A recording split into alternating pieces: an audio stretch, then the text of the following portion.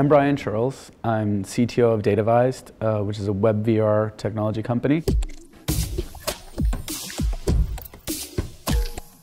VR is going to force uh, the documentary and journalism community to kind of rethink its ethics. The experience of, of the, the audience is, is it, it can be stronger in, a, in an emotional way and in a, uh, even a physical way.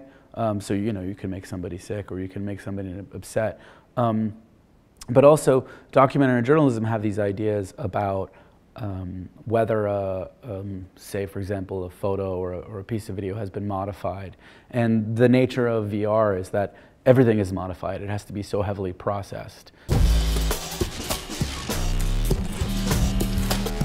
The VR experiences I enjoy the most are ones that are just about being in a space um, and that, that give you time. One of my favorite things to do is, is in the uh, a Vive, just sit on the floor and just kind of be somewhere. Um, or, or especially if, if you can play with things, if there's interaction. And it, it just kind of reminds me of being a kid and, you know, kind of alone in the bedroom before, uh, you know, sitting on the floor playing with toys. I think it's more effective to embrace the limitations than to try to kind of sweep them under the rug. So my favorite example, as I discussed, is, is Oscar Raby's piece Assent, where uh, he had limited resources to, to scan people and the scan comes out somewhat glitchy, but in the context of that story, it makes sense. If you're, for example, uh, in a, sitting in a car with a bunch of other people, and you look down and you have no body, and the setting seems to suggest that you should be a character in that car, but other people are all talking to each other, but they're ignoring you, then what does that say about who you are?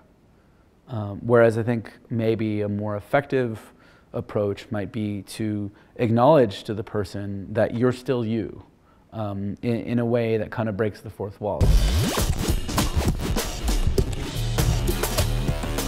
It's a new medium, so it's an opportunity to kind of establish new ground rules and a new culture that's much more open. We can only take advantage of the medium and it can only really uh, achieve the most if we can see people from all kinds of cultures and um, backgrounds uh, really contribute. We have the tools to do that.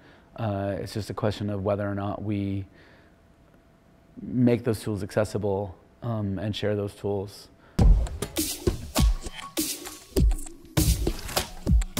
WebVR is a technology I work with that is fairly experimental, uh, that enables access to virtual reality hardware through a web browser.